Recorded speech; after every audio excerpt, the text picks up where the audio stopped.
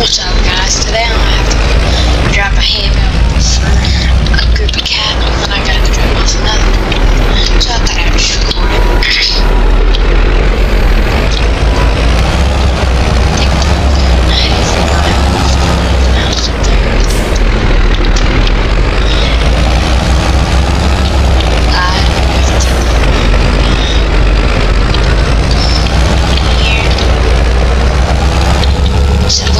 Street.